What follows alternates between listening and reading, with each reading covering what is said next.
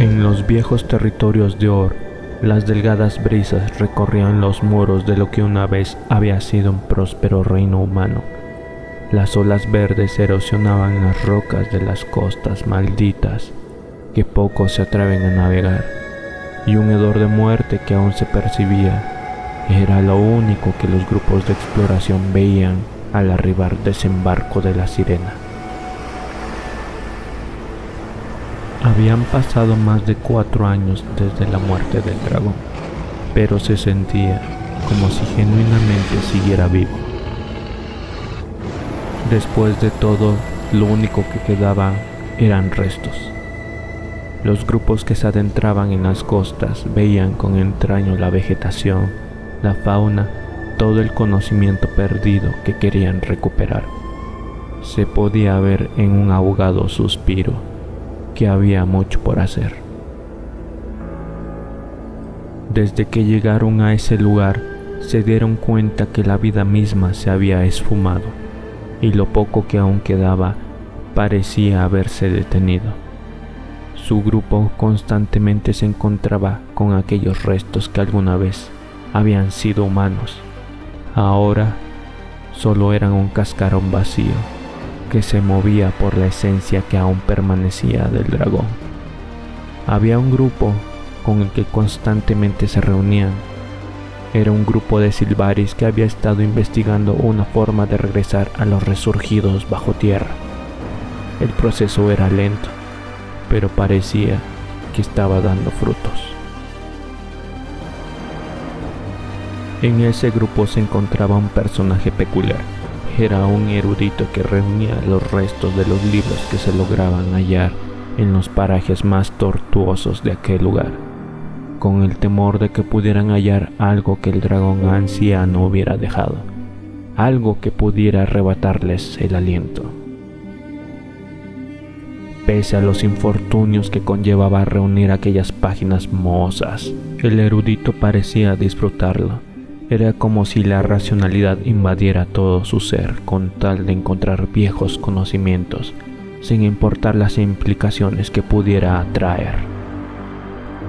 Los días pasaban y sus exploraciones cubrían más terreno. Muchas veces encontraron a grandes animales no muertos, que los delataba su fétido aroma de muerte. Zonas donde sollozaban voces de aquellos que habían sido víctimas del dragón una tarde el erudito entró al campamento y mandó a llamar a todos los implicados de las páginas encontradas. Todos se dirigieron a donde estaba el Silvari. El brillo de sus ojos parecía iluminar ese sombrío lugar. Creo que hemos encontrado algo interesante de los dioses humanos, el Silvari terminó de ordenar los fragmentos que los grupos habían estado encontrando a lo largo de todo el lugar. Tomó las páginas y sobre una vieja mesa las posicionó con mucha delicadeza. Las páginas podían verse como si se fueran a deshacer con solo mirarlas. El erudito Silvari los miró con mucha ansiedad, pues ya no soportaba las ganas de leer aquellas hojas.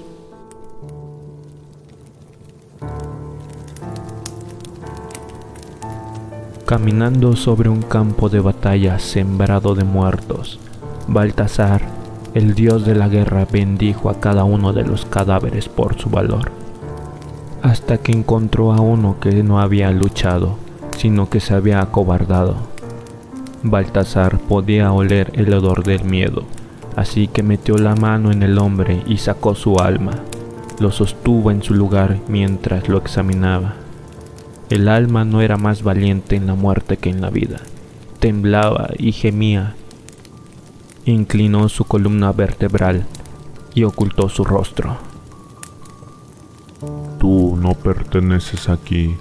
Manchas a estos valientes hombres y mujeres que murieron en un combate honorable. Ya no te encogerás detrás de ellos. Baltasar dobló el alma, la partió la aplastó hasta esconderla entre sus manos entrelazadas. Abrió la boca y empujó el alma, consumiéndola entera. Una vez que se fue, Baltasar gritó a los muertos. Ustedes cargaron a este cobarde cuando vivía, ahora lo cargo yo, porque me recuerda que la fuerza y el coraje nunca deben darse por sentado. Todos los reunidos miraban con profunda atención cada palabra que salía del erudito, mientras él continuaba. En una noche fría y sin luna, Llegó un hombre a una granja. La noche era tan oscura que llevó una vela encendida para encontrar el camino. El granjero le escuchó y gritó, ¿Qué negocio tienes aquí? La granja estaba oscura como la brea. Busco un refugio de la tormenta que se avecina, dijo el viajero. ¿Me invitarías a tu hogar? El granjero temía enfrentarse a la tormenta en la oscuridad pero más que eso, temía a los forasteros. No, no puedo. Con pesar, el viajero deseó una buena noche al granjero y prosiguió su camino. Colina abajo, encontró una familia que lo recibió con hospitalidad. El granjero sufrió la noche más oscura de su vida. Un árbol cayó sobre su casa y le aplastó la pierna. No pidió ayuda a Duaina, pues sabía que no se lo merecía. Para él, la mañana nunca llegó. Mientras el ocaso terminaba, en un campamento podía verse una luz titilando. Sombras que cubrían todas las paredes parecían prestar atención de lo que ocurría en el interior. Los gritos de un alma que había sufrido profundamente y por largo tiempo llegaron a los oídos de Gret. El dios se acercó a la mujer que lo llamó, pues no quedaba piedad en ella. Buscó venganza por la violencia con la que su marido la había tratado. Invocó el juicio de Gret sobre él mientras le clavaba un cuchillo en el corazón. Al encontrarla y el marido que había asesinado vio que lo amó una vez, que le había dado hijos y que había sido una esposa buena y leal. Vio que el hombre nunca la amó realmente, sino que les guardó rencor a ella y a sus hijos por vaciar sus bolsillos. Vio que el hombre nunca fue leal ni gentil. Vio cómo había abusado de su esposa sin cesar, y así el dios de la muerte dijo, Mujer, eres culpable de asesinar a tu marido cuando llegue tu hora, pagarás por lo que has hecho. No comprendo, dijo la mujer mientras se arrodillaba ante Gret. Y ahora te ofrezco una elección. Puedes venir conmigo ahora y ver a tu marido sufrir por los crímenes que ha cometido. O puedes marcharte y te reclamaré solo cuando haya llegado tu hora. Le di a mi marido mi amor y mi vida. Iré contigo ahora para ver cómo acaba esta historia, para compartir su sufrimiento. Su tormento será mayor si él sabe que estoy presenciando su dolor. Y así se hizo. Los presentes parecían estatuas de roca, puesto que aquellas palabras que se estaban relatando era algo que inquietaba a todos. Una niña se acercó a la luz de la hoguera desde la oscuridad y dijo, Soy Lisa y he venido a enseñarte qué es la ilusión y qué es la verdad.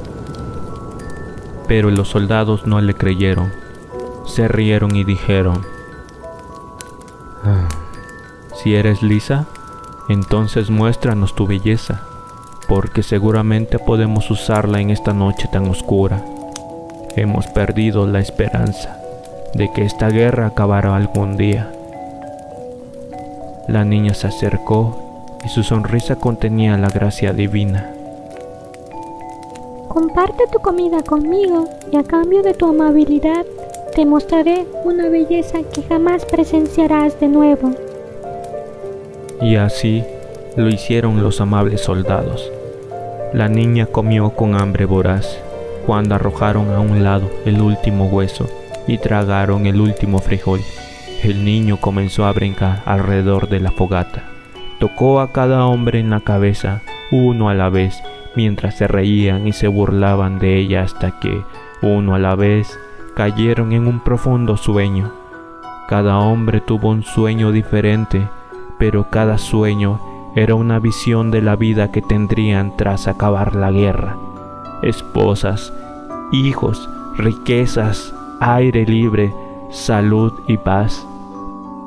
Cuando despertaron a la mañana siguiente, la niña se había ido y el enemigo había llegado. Lucharon con alegría con todas sus fuerzas, porque recordaban sus sueños. Sabían que ganarían la guerra. Cada hombre puso su corazón, su alma en la batalla, y cada hombre, uno a la vez, fue asesinado. Las palabras de aquel silbari resonaban los corazones de cada uno mientras las hojas seguían pasando. Un día la diosa Melandru se encontró con una guarida de zorros y escuchó los llantos hambrientos de los cachorros. Inclinó la oreja sobre el suelo y se enteró de que un granjero había matado a la madre zorro. Los cachorros estaban condenados a morir de hambre, pues así era la naturaleza. Melandro buscó al granjero y le preguntó por qué había matado a la madre, condenando a sus crías a morir. El granjero explicó que el zorro había matado a uno de sus pollos y por lo tanto se había vengado. Así es la naturaleza, dijo Melandro. Más tarde, en ese mismo año, el granjero le rezó, llamándola por su nombre en su momento más oscuro. En su presencia vio que estaba de luto y le preguntó qué había pasado. Los lobos se han llevado a mi hija. ¿Puedes traérmela de vuelta? Melandro dijo con gentileza. No, así es la naturaleza. La noche había llegado. Los presentes no dijeron una palabra. El erudito se levantó con una mirada que reflejaba más dudas de lo que había encontrado hoy. Una pequeña brisa de aire congelado se filtraba mientras acompañaba los pensamientos de cada uno. Una voz detrás de ellos dijo, regresen todos a su campamento, mañana tenemos mucho por hacer, parece que el comandante del pacto llega mañana. Los relatos dejaron una sofocante inquietud, pero aquellas palabras hicieron que se dieran cuenta que el tiempo no se detiene.